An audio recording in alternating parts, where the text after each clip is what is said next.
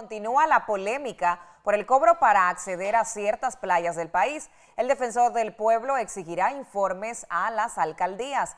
Más detalles en el reporte de Einar Valdés. La polémica inició cuando se implementó una resolución que limitaba el acceso a playas en Panamá Oeste en cierto horario y con varias restricciones. El alcalde de Chame, Abdul Juliao, en entrevista con un medio radial, dijo que no conoce personalmente al defensor del pueblo y lo invitó a Chame para ponerlo a limpiar las playas. El defensor, Eduardo Leblanc, le respondió. Con nombre, ¿cómo no? Yo le invito a él que recurra al país con nosotros a defender los derechos humanos. Él, yo lo puedo ayudar en su trabajo, porque es su trabajo, en recoger Sí, sí, yo, eso no me quita ni me, o sea, me da más de lo que me quita. y decirme eso no importa. Lo que, lo que es importante, mire, nosotros vamos a hacer una, unas inspecciones sorpresa, en particular y en carros sin marca, para ver si en verdad están cobrando o no. Eso es uno. Si él le cobra impuesto municipal a los restaurantes, los restaurantes tienen que tener personas que recojan la basura y tienen que tener canastas. Eso es uno. Dos, mensaje al, alcalde, no se pelee conmigo. Solucione los problemas de la basura y de la seguridad de su distrito y, trabajemos todos en pro de Panamá. Ese es el deber de nosotros. Y yo también le invito a que vaya a la comarca, a que vaya a Darién, a que vaya aquí a San Miguelito, a Raiján, a Chorrera, no solo Chame, que visite.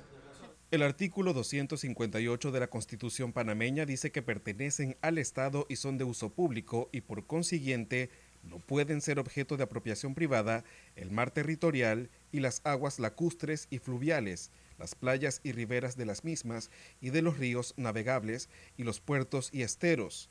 Todos estos bienes son de aprovechamiento libre y común, sujetos a la reglamentación que establezca la ley.